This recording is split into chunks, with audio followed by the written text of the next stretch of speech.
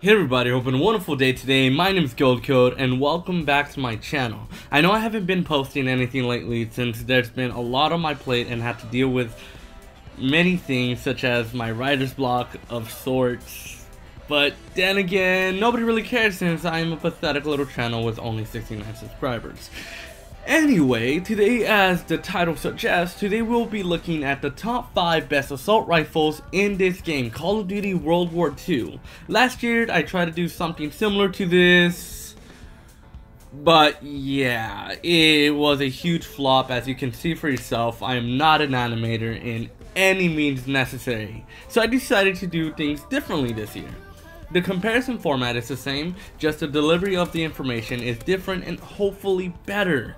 Huge disclaimer, weapon stats on paper is very different than in practice. This information I am presenting you is an accumulation of statistics and comparing them with each other. Now that we have that out of the way, let's get started.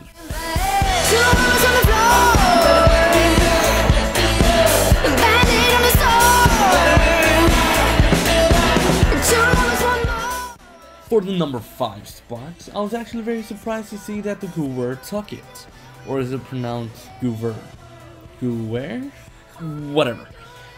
There is definitely a learning curve when it comes to using this weapon, however if you take the time to master this gun, you will be decently surprised to what it can do. The Gewehr Gewehr has the fastest fire rate from the semi-automatic rifles, and the second best recoil out of all the assault rifles, making a deadly accurate weapon in medium to longer ranges. In fact, it is so potent, it tied for third place in terms of overall points with the weapon we'll be talking about next. For the number 4 spot is my favorite AR, the STG-44. The STG-44 is what you would call a jack of all trades and a master of none. It scored well in most departments and very poorly in others. The STG-44 has the second fastest fire rate with average damage and a pretty decent range. On the other hand, the weapon's recoil isn't awful per se, but it is one of the hardest to control out of all of the ARs. This weapon is a good choice in any situation, just not the best choice. For the number 3 spot stands the FG-42. Great weapon in terms of range, damage, and accuracy. Out of all the assault rifles in the game, the FG42 has the best max damage range with 38 meters. On top of that, it has a mostly vertical recoil with minimal horizontal sway, making it an easy weapon to control and use. This allows the FG42 to be the most consistent weapon out there, meaning the performance won't change much in varying ranges compared to other weapons. For the number 2 spot stands a BAR with exceptional time to kill.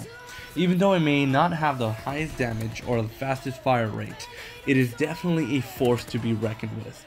The BAR has the second fastest potential time to kill out of all the assault rifles in both close and long range engagements. This makes the BAR a deadly choice in any given situation. Finally, the moment we all have been waiting for. The assault rifle that holds the title as the overall best is the M1 Garand. The M1 Garand beats the BAR by one point. However, it is definitely a good weapon to use despite it just being a little hard to use. The M1 Garand has the highest damage out of all the assault rifle and has the fastest time to kill in close to medium ranges with 185 milliseconds.